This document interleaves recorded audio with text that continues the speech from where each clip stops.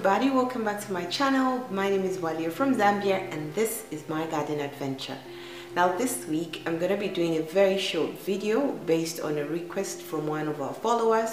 And so this is something that is gonna be very quick and short but hopefully helpful to so many people. So this week we're going to be looking at three essential things that a plant needs in order to thrive and grow well. You know there are certain plants that you will look at and you will already be able to tell to say there's something um, fundamentally wrong with this specific plant. So I know when you walk into somebody's garden and you see all these beautiful thriving plants, sometimes the first question that you would want to ask yourself is how do they manage to maintain their plants in such a manner? Why are their plants looking so healthy? Why do they look so good to the naked eye? What is it that they are doing right? What is it that I can uh, learn from them? So these three things are going to be like the basic starting point for you to be able to know what makes a plant thrive, what makes it grow well, what makes it different from another uh, plant that might be the same type but are being grown in two different environments. So essential item number one that a plant needs in order to grow and thrive is sunlight. So sunlight is essentially very important for all living things, human beings included, as this is an important aspect of the where we draw our energy sources from in order to be able to function in order to be able to thrive so just like human beings plants also require light enough light adequate light in order for them to be able to photosynthesize or produce food for themselves which will uh, help them to grow and thrive so sunlight is important for each and every plant. Yes, there will be um, some plants that will require less light than others, but generally all plants require some form of light in order for them to be able to thrive and grow well because it is through the sunlight that they'll be able to to, to, to, to use that energy to produce food for themselves and grow healthy and well.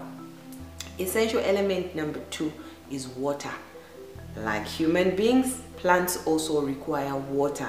So an important way of being able to ensure that your plant thrives and grows is to give it adequate water based on the type of plant that it is.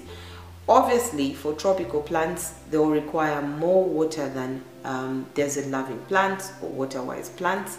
Those ones might not need as much water as um, for example, tropical um, grown plants. So water will be an important element that will be needed for a plant to grow and thrive. Number three element that is essential to the growth of a plant is humidity.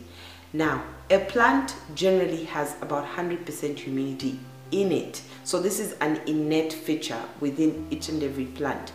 But as they are exposed to the environment, they tend to lose out on this humidity through the stomata, which are the pores that are found on the leaf structure of a plant. So based on the elements that they're exposed to within the environment that they are grown in, they tend to lose out on this um, humidity through the pores. And by so doing, it means that the, the plant tends to dry out over a period of time. And so being able to simulate this humidity by producing uh, humidity for them in the environment or at least creating an environment that is humid enough for them to take in this uh, humidity and sort of like um, um, to be able to cover up for the humidity that they, they are losing you need to be able to, to, to produce some humidity for, for them in order for them to be able to grow healthy and well. So these three elements are extremely important for your plant to be able to thrive and grow well. You will need lots of sunlight, you will need water, you will need humidity for your plant to be able to thrive and grow. Thank you so much for watching and I will see you